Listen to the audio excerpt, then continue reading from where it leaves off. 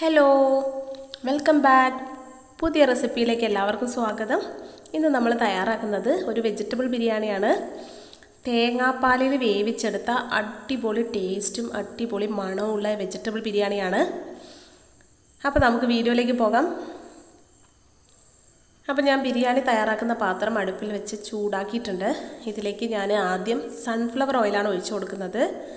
Sunflower ഓയിലിൽ നമ്മൾ ഇത് തയ്യാറാക്കി എടുക്കുന്നതാണ് കുറച്ച് നല്ലത്. എന്താണെന്ന് വെച്ചാൽ റൈസൊക്കെ നന്നായി വിട്ട് വിട്ട് കിട്ടാൻ അതാണ് നല്ലത്. ഇതിൽ കുറച്ച് സ്പൈസസ് ചേർത്ത് കൊടുക്കുക ഞാൻ കുറച്ച് പെരിഞ്ചീരവും ഒരു കറുവപ്പട്ടയും പിന്നെ കുറച്ച് ഗ്രാമ്പുമാണ് എടുത്തിരിക്കുന്നത് അത് ഫ്രൈ ആയി വരുമ്പോൾ അതിലേക്ക് വെളുത്തുള്ളിയും ഇഞ്ചിയും ഒന്ന് ക്രഷ് ചെയ്തത് ചേർത്ത് കൊടുക്കുന്നുണ്ട്. അതൊന്ന് റോസ്റ്റ് ചെയ്യുക. ഒന്ന് വഴറ്റുക. നല്ല മണം കിട്ടും അതിന്റെ. ഇപ്പം മൊത്തത്തിൽ അതിന്റെ മണമായിരിക്കും നമ്മുടെ കിച്ചൺ മുഴുവൻ. അത്രയും സമയം വരെ വഴറ്റണം. ഇനി അടുത്തായിട്ട് പച്ചമുളക് ചേർത്ത് കൊടുക്കുക. ഒരു രണ്ടെണ്ണം ഞാൻ എടുത്തിട്ടുണ്ട്. ഒന്ന് സ്പ്ലിറ്റ് ചെയ്ത് ചേർത്ത് കൊടുക്കുക. ഇനി നമുക്കിതിലേക്ക് നീളത്തിൽ അരിഞ്ഞു വെച്ചിരിക്കുന്ന സവാള ചേർത്ത് കൊടുക്കാം. ഞാൻ മീഡിയം സൈസിലുള്ള രണ്ട് സവാളയാണ് എടുത്തിരിക്കുന്നത്. അപ്പോൾ ഇതിലെടുത്തിരിക്കുന്ന അരി എന്ന് പറഞ്ഞത് ഏകദേശം അര കിലോയോളമൊന്നും വരില്ല. അതിലും കുറവാണ് കേട്ടോ ഞാനൊരു ഗ്ലാസിന്റെ അളവിനാണ് എടുത്തിരിക്കുന്നത്. അത് പറയാം. അതിന്റെ ഒരു മെഷർമെന്റാണ് ബാക്കി കാര്യങ്ങളൊക്കെ. അപ്പോൾ സവാള നന്നായി വഴറ്റി കഴിയുമ്പോൾ ഇതിലേക്ക് നമ്മൾ ക്യാരറ്റും ബീൻസൊക്കെ ചേർത്ത് കൊടുക്കാം.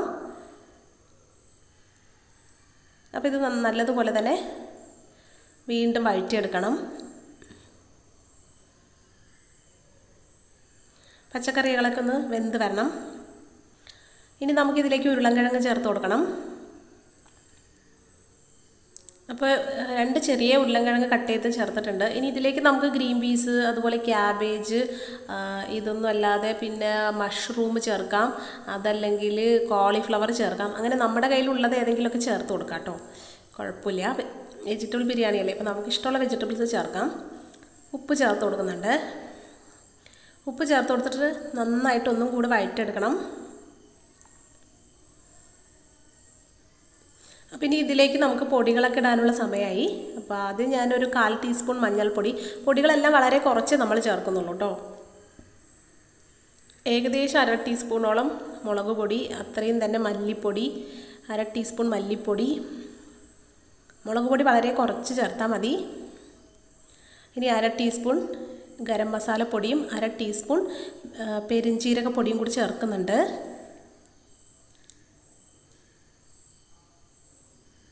ഇനി ഇതെല്ലാം കൂടി ഒന്ന് മിക്സ് ചെയ്തെടുക്കണം.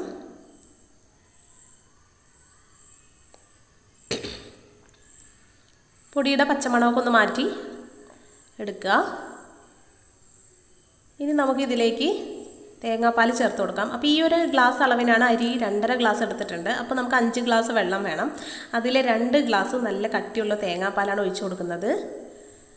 ഇനി മൂന്ന് ഗ്ലാസ് സാധാരണ വെള്ളവും കൂടി ഒഴിച്ചു കൊടുക്കുന്നുണ്ട്. നമ്മൾ മുഴുവനും തേങ്ങാപ്പാൽ എടുക്കുകയാണെങ്കിൽ അത്ര നമുക്ക് അങ്ങനെ ഒരുപാട് കഴിക്കാൻ പറ്റില്ല. ഒരു ലൈറ്റായിട്ടുള്ള രുചിയാണ് എപ്പോഴും നല്ലത്. അപ്പോൾ തക്കാളി ഞാൻ ചേർക്കാൻ വിട്ടുപോയതാണ്. അപ്പോൾ പച്ചക്കറികൾ വഴറ്റുന്നതിന്റെ കൂടെ തക്കാളിയും ചേർത്തോളൂ. ഒരു തക്കാളി ചേർത്ത് കൊടുക്കുക. അപ്പോൾ ഈ വെള്ളം നന്നായി തിളക്കാൻ അനുവദിക്കുക. ഉപ്പ് പാകത്തിന് ചേർത്ത് കൊടുക്കുക. കുറച്ച് മല്ലിയിലയും പുതിനയിലയും കൂടെ അരിഞ്ഞതും കൂടെ ഈ വെള്ളത്തിലേക്ക് ഇട്ട് കൊടുക്കുക.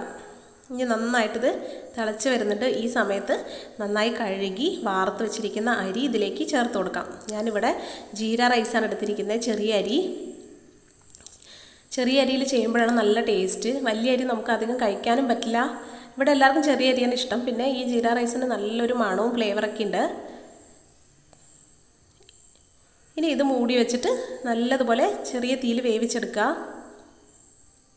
ഇപ്പോൾ ചില അരികൾക്ക് ഭയങ്കര വേവ് ഉണ്ടാവും അങ്ങനെയാണെങ്കിൽ തിളച്ച വെള്ളം ഒരു മൂന്നോ നാലോ ടേബിൾ സ്പൂൺ ഇടയ്ക്ക് ചേർത്ത് കൊടുത്താൽ മതി. ഇപ്പോൾ ഞാൻ ചേർത്ത് കൊടുത്തത് നെയ്യാണ്. അപ്പോൾ ഒന്ന് മെൽറ്റ് ആവാനായിട്ടൊന്ന് മൂടി വെക്കാം നമുക്ക്. ഇപ്പം നമ്മുടെ ചോറ് വെന്തിട്ടുണ്ട്. അതിന് ശേഷമാണ് നെയ്യ് ചേർത്ത് കൊടുത്തത്. അപ്പോൾ നെയ്യൊക്കെ അലിഞ്ഞ് ചേർന്നിട്ടുണ്ട്. ഇനി എല്ലാം കൂടി ഒന്ന് ഇളക്കി മിക്സ് ചെയ്ത് യോജിപ്പിച്ചാൽ മാത്രം മതി. ഇപ്പോൾ നല്ല മണം വരുന്നുണ്ട്. തേങ്ങാപ്പാലിൽ വേവിച്ചതുകൊണ്ട് തന്നെ ഒരു പ്രത്യേക മണമാണ് ഇതിന്. ഇനി ഇത് ചൂടോട് കൂടി തന്നെ നമുക്ക് സെർവ് ചെയ്യാം. ഇത് കഴിക്കാനായിട്ട് വേറെ കറിയോ കാര്യങ്ങളൊന്നും ആവശ്യമില്ല. സാലഡ് പോലും വേണ്ട നമുക്ക്. അത്രയേറെ പച്ചക്കറികൾ നമ്മൾ ചേർത്തിട്ടുണ്ട്. നല്ല ഹെൽത്തിയും കൂടിയാണ് കേട്ടോ. കുട്ടികൾക്കൊക്കെ നമുക്ക് ലഞ്ച് ബോക്സിന് കൊടുത്തുവിടാൻ പറ്റിയ നല്ലൊരു റൈസാണിത് അപ്പോൾ നിങ്ങൾ ഈ വെജിറ്റബിൾ ബിരിയാണി തയ്യാറാക്കി നോക്കണം. എല്ലാവർക്കും ഇഷ്ടമാവും താങ്ക്